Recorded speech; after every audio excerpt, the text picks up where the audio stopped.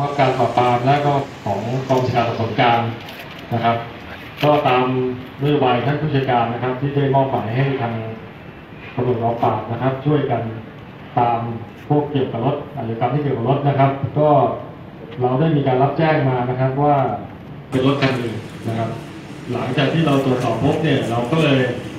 ได้ขยายผลนะครับเอ่อสืบหาโครงข่ายนะครับอาชญากรรมของกลุ่มนี้นะครับ จนได้ไปทำการตรวจค้นนะครับโดยยึดรถมาทั้งหมด 34 คันนะครับนำไปทำการตรวจสอบเนี่ยพบ 11 คันที่ต้องดำเนินคดีนะครับ ส่วนที่เหลือนะครับ คือ 15 คันถูกต้องนะครับ แล้วก็ส่วนที่เหลือเนี่ยอยู่ระหว่างตรวจสอบนะครับส่วนรายละเอียดเนี่ยผมขออนุญาตให้ทางทีมงานนะครับอธิบายราชการสอบสวนกลางนะครับท่านทราบไหมครับว่าปี61เราสำรวจมาว่ารถที่จดทะเบียนนะครับในบ้านเราเนี่ยทั้งหมด 38 ล้านคันนะครับจดทะเบียน ยังไม่รวมรถหนีภาษีรถที่ถูกโจรกรรมไปนะครับรถที่ถูกโจรกรรมไปคือรถที่ได้มาจากการกระทำความผิด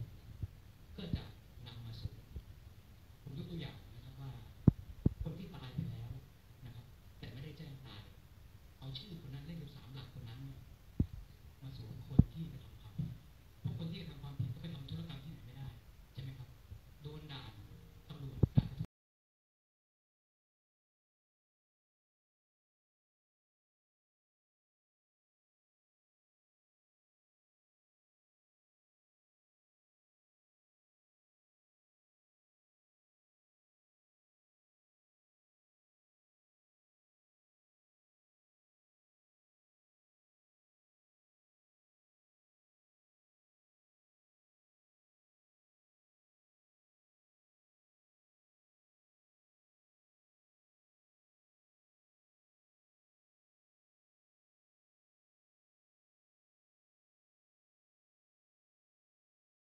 นะครับ ด้วยความโชคดีที่ซอยสัญใหญ่เนี่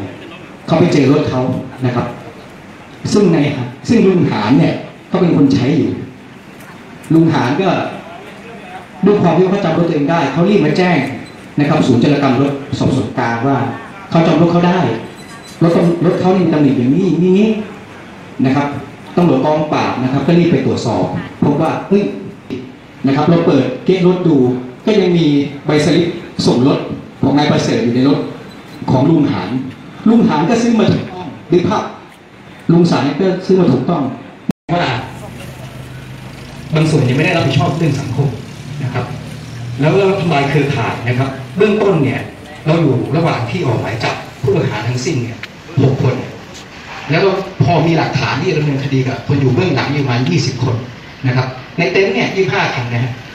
มีอยู่5คันด้วยนะครับ เป็นซากมาก่อนนะครับามภาพเดี๋ยวมีรถตัวอย่างให้ดูนะครับที่เราไปตรวจยึดรถมาว่า ก่อนที่จะมาเป็นรถอย่างเนี้ยเป็นซากเนี่ยมันไม่มีคุณภาพ ลักษณะที่เราสามารถทำเองได้นะคะก็คือใช้ทิกนะคะก็คือลักษณะอย่างเงี้ยก็คือมันถลอกออกก็คือถ้าเป็นของครั้งแรกที่ผมจำรถของผมได้นะครับ คือวันนั้นผมขับรถไปทำงาน ซึ่งผ่านซอยเสือใหญ่นะครับ ได้เห็นรถคันนี้ที่จอดอยู่ข้างกำแพงโรงงาน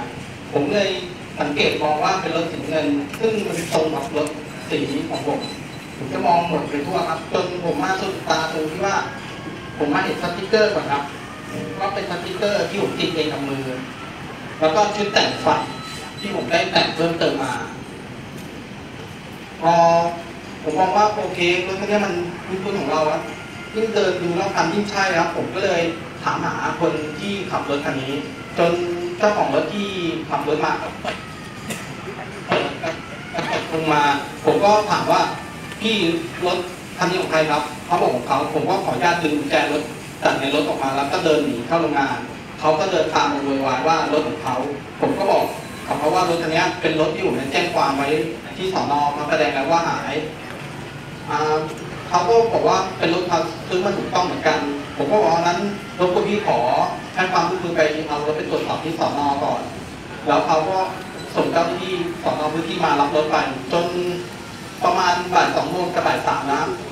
คือผลสูจน์รถเบื้องต้นคือเอกสารตรงทุกเป็นของเจ้าของรถใหม่หมดเลย ซึ่งรถผมทีเนี้ยทางเจ้าหน้าที่บอกว่าจะต้องคืนรถให้กับเจ้าของรถไปอันนี้ผมก็ไม่ยอมครับว่า เพราะรถนเนี้ยผมมั่นใจว่าเป็นรถของผมเอง ผมเลยไม่รู้จะทำไงเลยขับรถมาที่กองปราบครับ มาร้องที่กองปราบปรามกองบังคับการตรวจการตรวจกรรมรถตัวนี้ชั้นสามครับ ก็ได้ผู้กองเองครับ ได้เข้ามาช่วยเหลือผู้กองต้น ผู้กองจงครับ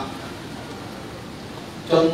ผู้กองเช็คเช็คประวัติรถขึ้นมาจากทะเบียนรถ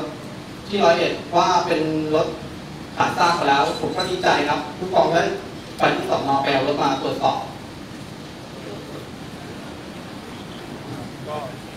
ก็ตามที่เราไปนี่ไม่ได้เจ้าของแม่งก็ไม่ได้